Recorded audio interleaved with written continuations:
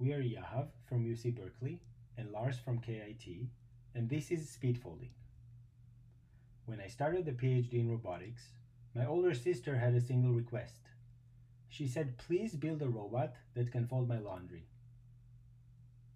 This task is tedious, time consuming, and can be non trivial even for humans.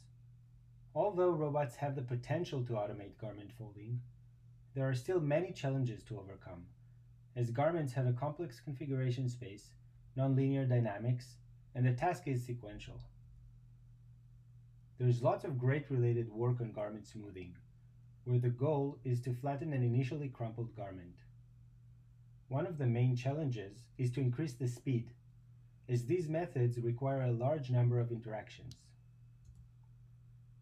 A recent breakthrough by Ha Song showed how to use dynamic motions on a bimanual robot to rapidly smooth a garment, achieving around 80% garment coverage within a few interactions, a significant speed up over prior works. For garment folding, prior works either focused on learning goal conditioned policies starting from a smooth fabric, or on heuristics that achieve high success rates but had long cycle times, with a throughput of 3 to 6 folds per hour. The focus of this work is efficient end-to-end folding system. The key is efficiency, measured by folds per hour, of end-to-end folding, manipulating the fabric from an arbitrary configuration to a desired goal configuration. We use an ABB Yumi with 3D printed pinch grippers and place a thin foam mattress on the workspace to allow the grippers to reach below the garment, improving grasping reliability and speed. We use an RGBD camera to estimate the garment configuration and an additional RGB camera with a larger field of view to compute the garment coverage. To increase the speed when manipulating the garment from an arbitrary configuration to a folded goal configuration, we decouple the problem. First, bring the fabric to a canonical configuration, smoothing, and then follow a fixed set of instructions to achieve the goal configuration, folding. Traditionally, the goal of smoothing is to maximize the garment's coverage area of the workspace. To achieve that, we developed the following bimanual motion primitives. Inspired by Ha Song, we developed a fling primitive. Given two peak poses, this primitive will lift the garment, stretch it, and accelerate forward and backwards to unfold the garment, also using the friction with the workspace to smooth it on the table. Next, we have the drag motion that drags the garment for a fixed distance away from the garment's center of mass, leveraging the friction with the workspace to smooth wrinkles or corners, for example, sleeves folded below the garment. Given a pick and a corresponding place pose, the robot executes a quasi-static pick and place action to fix local faults such as corners or sleeves folded on top of the garment. We have the motion primitives. Now all we need to figure out is where to grasp. A common approach is to compute a pixel-wise value map and take the argmax over all pixels. But extending this to two corresponding poses is challenging, since it is a multimodal problem where a value map may contain multiple non-corresponding peaks. BiMamaNet, a novel neural network architecture for bimanual manipulation, addresses this by learning a conditioned value map over pairs of correspondence descriptors, essentially predicting how well a pair of poses will perform for each primitive.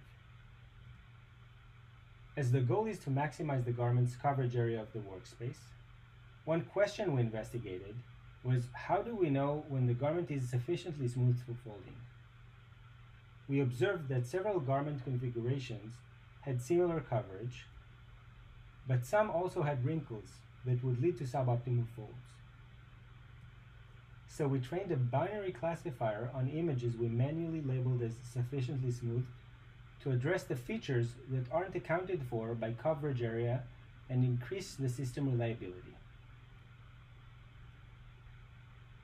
We design a database and an annotation software and start data collection by providing labels manually. Then, we iteratively train a self-supervised data collection neural network, interleaving training and execution for data collection. The robot labels are given with a reward that takes into account both the change in coverage and the change in the classifier's confidence. Once the garment is sufficiently smooth, the robot is ready to fold it. The first approach we use allows the user to define garment-specific folding lines as a template. During execution, the robot will match the given template to the current orientation of the garment and follow the lines to fold. As the goal is to increase the folds per hour, we consider two optimizations. The fling to fold combine the fling with the first folding step, reducing one imaging step from the cycle. And we can even remove the sensing steps entirely.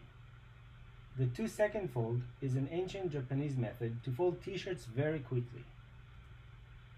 Using this technique, we reduce the folding time compared to the folding lines as it doesn't require taking images between steps at all, but it is less reliable and more prone to errors. Now that we've covered both smoothing and folding, the full pipeline starts with sensing the current state of the garment and determining whether it's sufficiently smooth.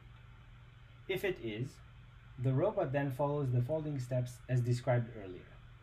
Otherwise, BiMamaNet predicts the primitive and the grasp points to further smooth it and repeat. We compare the performance of BiMamaNet with the following baselines. Max Value Map, a variant that computes the peak points directly without the correspondence descriptors. Only Flings, a variant restricted to fling actions only, and the pre-trained weights from the Flingbot paper. Our experiments show that BiMamaNet can increase the coverage of a known t-shirt in 5 to 6 smoothing actions, faster than baselines in prior works. BiMamaNet also achieves 30 to 40 folds per hour, compared to 3 to 6 in prior works, with a success rate of over 90%. When comparing the different folding methods, we observe the following trade-off. The 2 second fold has a shorter duration However, it is less reliable than the folding lines. The fling to fold method is both efficient and reliable, but requires knowing the garment's dimensions in advance. Finally, we explored how speed folding, trained on a single t-shirt, can generalize to garments unseen during training. On a t-shirt with different colors and thickness, BiMamaNet achieves 20 folds per hour. On a towel, BiMamaNet achieves 53 folds per hour, but requires training a specific sufficiently smooth classifier and providing specific folding lines. This task is also a part of the RoboCup at Home challenge, where the high-level goal is to develop service and assistive robot technology with high relevance for future personal domestic applications. This system is far from being complete and has various limitations that can lead to exciting future work. First, the small workspace limits the size of the garment. We also encounter a few failure modes due to grasp failures or kinematic errors.